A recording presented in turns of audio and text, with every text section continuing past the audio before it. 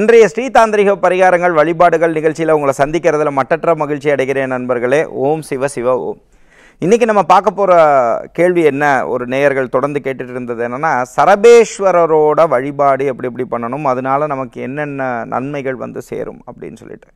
இதுக்கு முன்னாடி சரபேஸ்வரர் யாருன்றது சில பேருக்கு புரியாமல் நிறைய கேள்விகள் தப்பு தப்பாக கேட்குறாங்க அதை பற்றி ஒரு விளக்கங்கள் கொடுத்துடலாம் சரபேஸ்வரர் அப்படிங்கிறது வந்து அது சிவஸ்வரூபம் சரியா? அப்போ அந்த சிவஸ்வரூபமாக எப்படி இந்த டைம் எப்போ நடக்குதுன்னா ஹிரண்ய கசிபுன்னு இருக்கிறவர் அது உங்களுக்கு தெரியும். பக்த பிரகலாதன் வந்து ரொம்ப ஒரு நாராயணர் மேலே தீராத காதலில் இருந்தார். அப்போ வந்து சுவாமி எங்கே இருக்காருன்னு கேட்கும் பொழுது அப்போ வந்து வந்து இவர் தூணிலும் இருக்கார் துரும்பிலும் இருக்கார் சுவாமி. அங்கிங்கனாதபடி எங்கேயுமே எல்லா இடத்துலையும் இருக்காருன்னு அவர் சொல்லும் பொழுது எங்கே இருக்கார்? வர சொல்லு பார்ப்போம் போது சாயரட்சை நேரத்தில் அவர் ஓம் நமோ நாராயணாய அப்படின்னு சொல்லும் பொழுது நரசிம்ம சுவாமியாக உருவம் எடுத்து இரண்யகசிபுவை வதம் செய்யும் காலத்தில் அந்த மாதிரி உக்ரஸ்வரூபமாக இருந்தபோது தேவர்கள் முனிவர்கள் எல்லாரும் சேர்ந்து வழிபாடுகள் செஞ்சுட்டே இருக்காங்க. வழிபாடுகள் செஞ்சுட்டே இருக்கும் பொழுது அப்போ அந்த கோபம் நாராயணமூர்த்திக்கு வந்து குறைய மாட்டேங்குது. அப்படி இருக்கும் காலத்தில் என்ன ஆகுதுன்னா எல்லாரும் போய் சிவபெருமான்கிட்ட போய் அழறாங்க. அழுதுட்டு நீங்கள் தான் காப்பாற்றணும் அப்படின்னு சொல்லி சொல்லக்கூடிய காலங்களில் என்ன ஆகிடுறது அப்படின்னா அப்போ சிவபெருமான் ஸ்வரூபமாக எடுக்கிறார். விலங்காவும் அதே மாதிரி பறவையாகவும் ஒரு மானிடனாகவும் சேர்ந்து ஒரு உருவமாக சரபரூபமாக ஏற்பட்டு இவர் உள்ளே வரார்.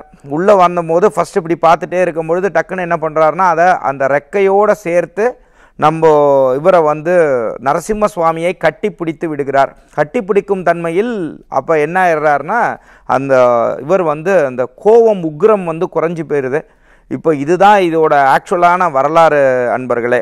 அப்போ இந்த வ இந்த வழிபாடு பண்ணக்கூடிய விஷயங்கள் என்னென்ன அப்படிங்கிறத நம்ம பார்க்கலாம். இந்த வழிபாடுகள் பண்ணக்கூடிய ஸ்தலம்னு நீங்கள் பார்த்தீங்க அப்படின்னா கும்பகோணம் அருகில் வந்து திருபவ திருபுவனம் இடத்தில் வந்து நாங்கள் சரபேஸ்வரருக்காக ஒரு ஆலயமும் உண்டு.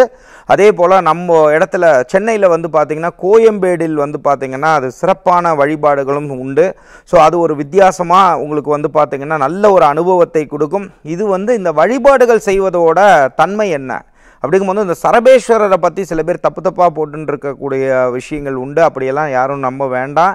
சரபேஸ்வரரோட வழிபாடுகள் பண்ணும் பொழுது அவர் ஒரு உக்ரஸ்வரூபமாக இருந்தாலும் எப்படி நரசிம்மருக்கு மறுநாள் கிடையாதோ அதே போல் அந்த சரபேஸ்வரரை வழிபடும் போது சிவநாராயண ஸ்வரூபமாக உங்களுக்கு வாழ்க்கையை ஜெயிக்க வைப்பாருங்கிறத நீங்கள் புரிஞ்சுக்கணும். அதுவும் உடனே உடனே உங்களுக்கு கிடைக்கும். சரியா?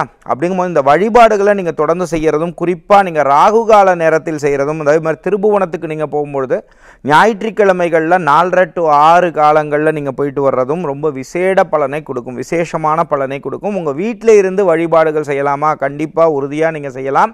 அப்போ நீங்கள் என்ன செஞ்சுக்கலாம்னா நல்ல எண்ணெயும் நெய் தீபத்தையும் சேர்த்து ஏற்றி நீங்கள் சரபேஸ்வரரோட காயத்ரி உண்டு. அதே போல் சரபேஸ்வரரோட மூல மந்திரம் உண்டு. அந்த மூல மந்திரங்களை நீங்கள் ஜபம் செய்யலாம். அதே போல் இந்த ஏவல் பில்லி சூன்யம் இந்த மாதிரி விஷயங்கள் அடுத்தவர்கள் கெட்டு போகணும்னு சொல்லி சில பேர் இருக்கிறது உண்டு. அந்த மாதிரி சில ஒரு சில பேர்னால பாதிக்கப்பட்டிருந்தாலோ மன ரீதியான அழுத்தங்கள் அதனால் ஏற்பட்டிருந்தாலோ இந்த மாதிரி விஷயங்களில் ஏற்பட்டவங்க வந்து சரபேஸ்வரர் வழிபாடு செய்கிறதும் அதே மாதிரி எல்லா விஷயங்கள்லையும் தடையாக இருக்கக்கூடியவர்கள் அதே மாதிரி ராகு பகவானால் வரக்கூடிய பிரச்சனைகளும் அதே போல் உங்களுக்கு வந்து பார்த்திங்கன்னா மன வாழ்க்கையில் வந்து தேவையில்லாத மூணாவது மனிதர்களால் வரக்கூடிய விஷயங்களும் கலத்திர தோஷங்கள் உள்ளவர்களும் இந்த மாதிரி வழிபாடுகள் செய்யும் பொழுது நல்ல மாற்றங்கள் ஏற்படும். அதே போல் உயர் அதிகாரிகள்னால பிரச்சனைகளோ இல்லைன்னா வந்து பார்த்திங்கன்னா அரசு சம்மந்தப்பட்ட கோர்ட்டு கேஸ் இந்த மாதிரி விஷயங்களில் ஜெயிச்சே ஆகணும்னு சொல்லி உங்கள் மேலே தப்பு இல்லாத பட்சத்தில் இந்த வழிபாடுகளை நீங்கள் தொடர்ந்து செய்யும் பொழுது ஒரு மிக சிறந்த முன்னேற்றத்தை கொடுக்குங்கிறதுல எள்ளளவும் மாறுபட்ட கருத்தே கிடையாது. அப்போ அந்த சரபேஸ்வர ரூபத்தை வந்து நான் வீட்டில் வச்சு வழிபடலாமா? பூஜை ரூமில் மித்த சுவாமியோட வச்சு வழிபடலாமா? தாராளமாக வழிபடலாம்.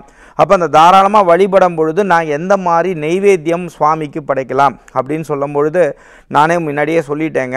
இவர் வந்து பொறுத்த வரைக்கும் நம்ம நரசிம்ம சுவாமி எப்படி அன்புக்காகவே அவர் வந்து எப்பயுமே அவர் ஒரு வரக்கூடிய ஒரு தெய்வம் சரியா? இதுக்காக தான் நான் ஒவ்வொரு நிகழ்ச்சியிலையும் சொல்கிறேங்க சுவாமி இங்கே இல்லை அங்கே இல்லை அங்கே இல்லை இங்கே இல்லை. சுவாமி அகம் பிரம்மாஸ்மி அங்கிங்கனாதபடி எங்கும் பிரகாசமாய் ஆனந்த ரூபமாக அருளோடு இருக்கார். எங்கே இருக்கார்? அகம் பிரம்மாஸ்மி. சுவாமி நம்ம கிட்ட தான் இருக்கார். அவர் ஒரே ஒரு விஷயத்துக்கு தான் வருவாருங்க. கோடி கோடியாக பணம் கொட்டுறதுனாலையோ அங்கே இங்கே போய் பண்ணுறதுனாலையோ இதனால் வரமாட்டாருங்க. உங்களுடைய காதல் தெய்வத்து மேலே நீங்கள் வைக்கக்கூடிய காதல் அந்த அன்புக்காகவே வருவார். அதனால் இதுக்கு சிறப்பாக நீங்கள் இது பண்ணணும் அது பண்ணணும்னு கிடையாது. உங்களால் என்ன முடியுமோ அதே போல் உங்களால் வந்து குளிர வைக்க முடிஞ்சால் குளிர வைக்க முடிஞ்சது அப்படின்னு சொன்னால் ஏன்னா அந்த அந்த ஸ்வரூபமே அப்படி இருக்கிறதுனால குளிர வைக்கக்கூடிய பானகம் வைத்து வழிபடலாம். அதே போல் இந்த பானகம் கரைக்கும் பொழுது மேக்சிமம் அந்த ஒயிட் சுகர் போடாமல் நீங்கள் வந்து வெல்லம் தட்டி போ போடுறதும் அதில் ஏலக்காய் கலந்து போடுறதும் இந்த மாதிரி விஷயங்கள் இளநீர் வைக்கலாம். அதே மாதிரி இந்த வெயில் காலங்களில் நீங்கள் கும்பிடும் பொழுது நொங்கு பணம் நொங்கு வச்சு கும்பிடலாம். இந்த மாதிரி விஷயங்கள் நீங்கள் செய் வையலாம் வைக்கலாம். பணங்கருப்பட்டி வைத்து கும்பிடலாம். ஸோ இந்த மாதிரி வழிபாடுகள் நீங்கள் செஞ்சுட்டு வர்றதும் அதே மாதிரி தாந்திரிக பொட்டு வழிபாடுன்னு உண்டுங்க. இந்த தாந்திரிக பொட்டு வழிபாடுங்கிறது என்னென்னா சரபேஸ்வரரின் திருவுருவப்படம் வைத்திருப்பவர்கள். இதை உறுதியாக நம்புங்கள். சரியா? அந்த சரபேஸ்வரரை நீங்கள் வழிபடும் பொழுது நரசிம்மரை வழிபட்ட பலனும் உண்டு. பிரத்திங்கரா தேவியை வழிபட்ட பலனும் உண்டு. சூழினி தேவியை வழிபட்ட பலனும் உண்டு. அப்போ நீங்கள் என்ன பண்ணணும்? ஒரு நாளைக்கு ஒரு சந்தன பொட்டு மேனிக்கு கீழே இருந்து கிளாக் வைஸாக கீழே ஒரு பொட்டு வச்சுட்டு குங்குமம் வைக்கணும். அதே மாதிரி அந்த திருவுருவ படத்தை வைத்து முடிக்கக்குள்ளேயே எப்பேற்பட்ட பிரச்சனையில் நீங்கள் இருந்தாலும் சரபேஸ்வர பெருமானின் அருள் உங்கள் வீட்டிற்கு கிடைக்கும். எவ்வளோ பெரிய தொந்தரவில் இருந்தாலும் அது வந்து ஜெயிக்க வைப்பார் சரபேஸ்வரர் அப்படிங்கிறதுல எள்ளளவும் மாறுபட்ட கருத்தே கிடையாது. இந்த பூஜைகளை செஞ்சு முடிச்சுட்டு நீங்கள் உடனே வந்து கடவுளை மறந்துடக்கூடாது. அப்போ நீங்கள் போயிட்டு நன்றி தெரிவிச்சிட்டு வாங்க. இதுக்காக நான் அதை பண்ணுறேன் இது பண்ணுறேன்லாம் வேண்டாம் வேண்டாம். நம்ம கொடுத்து சுவாமிக்கு கொடுக்கணும்னு அவசியம் இல்லை. அப்படிங்கும் பொழுது சுவாமிக்கு நம்ம நன்றி கடனோடு இருந்தாலே நம்ம செய்யக்கூடிய பெரிய விஷயம் அது. அப்படிங்கும்போது கடவுள்கிட்ட நீங்கள் நினைத்த விஷயங்கள் ஜெயமானத உடனே உங்களால் முடிந்தால் இந்த சென்னை பக்கத்தில் இருக்கிறவங்க கோயம்பேடு கோயிலுக்கு போயிட்டு வர்றதும் அதே போல் இல்லை நான் திருபுவனத்துக்கு போயே ஆகணும்னு ஆசைப்படுறவங்க கும்பகோணத்துக்கு போயிட்டு நன்றி சொல்லிட்டு வாங்க. அந்த டயத்தில் நீங்கள் சொல்லும் பொழுது அது ராகுகால நேரமாக இருக்கட்டும் அதே போல் ஞாயிற்றுக்கிழமையாக இருக்கட்டும் அப்போ நீங்கள் போகும்பொழுது கோயிலுக்குள்ளே போகும்பொழுது யாராவது சிவன் அடியார்களை நீங்கள் பார்த்தீர்களானால் அந்த டயத்தில் அவங்களுக்கு என்ன பண்ணுங்கன்னா உங்களால் முடிஞ்ச வஸ்திர தானங்கள் செஞ்சுட்டு வர்றதும் அதே மாதிரி உள்ள கர்ப்ப கிரகத்துக்கு கொஞ்சம் நல்ல எண்ணெய் செக்காட்டினா நல்ல எண்ணெய். நான் இதை ஏன் அழுத்தி சொல்கிறேன்னா இப்போ ஒரு நூறு பேர் சேர்ந்து கெமிக்கல் எண்ணெய் கொடுத்துருந்து நீங்கள் செக்காட்டின நல்லெண்ணெயை கொடுத்தாலும் நீங்கள் அதை கல்லாக பார்த்தால் கல் சுவாமியாக பார்த்தால் சுவாமி. அப்படிங்கும் பொழுது அந்த சுவாமிக்கும் வந்து ப்ரீதிங் இது வரக்கூடாது அப்படின்னும் ஒரு இது உண்டு. சரியா? அப்படி அந்த பூஜைகளும் பண்ணுறாங்க உள்ளுக்குள்ளே கர்ப்ப கிரகத்தில் பண்ணுறாங்க அவங்களுக்கும் அந்த நெகட்டிவ் விஷயங்கள் வரக்கூடாதுன்றதுக்காக தான் செக்காட்டின எண்ணெயும் அந்த இடத்துல ஒரு பாசிட்டிவ் வைப்ரேஷன்ஸும் வருங்கிறது நூறு பேர் ஒரு நெகட்டிவாக கொடுத்துருந்தாலும் நீங்கள் கொடுக்கக்கூடிய விஷயங்களும் நிறைய நல்ல பலனை கொடுக்கும். அப்போ இந்த சரபேஸ்வரர் வழிபாடு பண்ணும் பொழுது நான் என்ன அடிஷ்னலாக வழிபாடு பண்ணணும்? எந்த பூஜைகள் நீங்கள் செய்தாலும் முதலில் விநாயகப் பெருமானின் வழிபாடை நீங்கள் செஞ்சுக்கணும். அடுத்து குலதெய்வ வழிபாடு செஞ்சுக்கணும். ஜாதகத்தில் உள்ள இஷ்டதேவதா வழிபாடை செஞ்சுட்டு தான் இந்த ஸ்பெஷலான பூஜைகள் செஞ்சுக்கணுங்கிறதுல எள்ளளவும் மாறுபட்ட கருத்தே கிடையாது. சில பேருக்கு வந்து பார்த்திங்கன்னா இந்த பூஜைகள் பண்ணி மிகப்பெரிய கோடீஸ்வரர்கள் ஆனவர்களோட சரித்திரங்களும் உண்டு.